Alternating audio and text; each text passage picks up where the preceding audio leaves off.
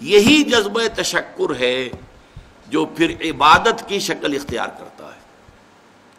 دیکھیے، شکر آپ کے ساتھ کسی نے بھلائی کی، آپ کی فطرت کا تقاضا نمبر ایک یہ کہ اس کا شکریہ ادا کریں۔ نمبر دو یہ کہ آپ بھی کوشش کریں کہ کوئی میں بھی اس کی خدمت کروں۔ کو میں اس کو بدلا دوں۔ حل جزا الحسان الحسان بھلائی کا بدلہ سوائے بدلی، بھلائی کے اور کیا ہو سکتا ہے؟ لیکن فرض کیجیے کہ وہ ہستی اتنی بلند و بالا ہو۔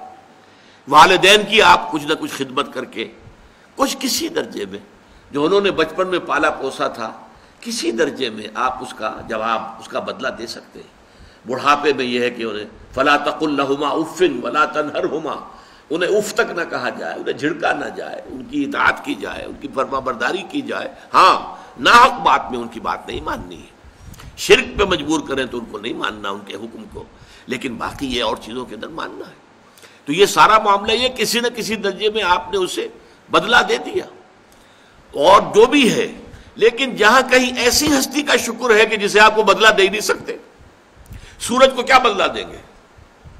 وہاں یہی جذبہ تشکر جو ہے، جذبہ عبادت میں ڈھل جاتا ہے۔ ہاتھ جوڑ کے کھڑے ہو گئے سورج کے سامنے۔ ڈنڈوت کر رہے ہیں سجدہ کر رہے ہیں کیا ہے؟ کیوں ہے؟ یہ وہی جذبہ تشکر ہے کہ اس سورج ہی سے ہمارا سارا نظام چل رہا ہے، میرا پورا وجود۔ یہ در حقیقت اسی کے ذریعے سے اس کی ساری ضرورتیں اور سارے تقاضے پورے ہو رہے ہیں۔ یہی جذبہ تشکر ہے جو جذبہ عبادت کی شکل اختیار کرتا ہے۔ اور جب جذبہ تشکر صحیح جگہ جا کر لگ گیا یعنی جیسے کہ میں مثال بارہا دیتا رہا ہوں کہ اگر آپ کو کسی اونچی فصیل پر چڑھنا ہے اور آپ کے پاس جو ہے وہ ایک کمند ہے، تو پہلے کمند کو آپ پھینکیں گے اونچا، آپ کے بازو میں طاقت ہونی چاہیے۔ اگر بازو میں طاقت ہی نہیں ہے تو کمند کہیں قریبی جا کے اٹک گئی تو جہاں تک وہ اٹکی ہے وہیں تک چڑھ سکتے ہیں نا، اس سے آگے تو نہیں جا سکتے۔ تو کمند کو پہنچانا ہے پہلے اونچائی تک۔ اب دیکھیے، اس کو اقبال نے کہا ہے یزداں بکمنداور اے ہمت مردانہ۔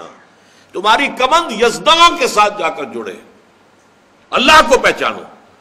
تمہاری عقل کا جو ہے در حقیقت امتحان یہ ہے کہ اصل منعم حقیقی اصل محسن حقیقی، اس کے انعامات، اس کے احسانات، اس نے تمہیں پیدا کیا، تمہاری ضرورت کی چیزیں پیدا کی ان تعدو نعمت اللہ لا تحسوہا اگر تم اللہ کی نعمتوں کو گننا چاہو، کبھی احسان نہیں کر سکتے، کبھی ان کی گنتی نہیں کر سکتے۔ اس کے لیے تمہارا جذبہ شکر جو ہے، وہ ڈھل جانا چاہیے جذبہ عبادت میں۔